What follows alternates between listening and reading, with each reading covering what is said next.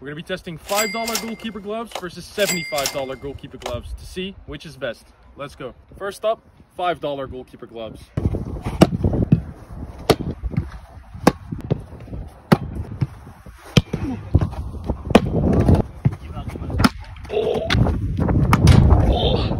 They don't feel too good, there's no grip, and they're too small as well. Time to switch to the $75 ones. Next up, $75 ones.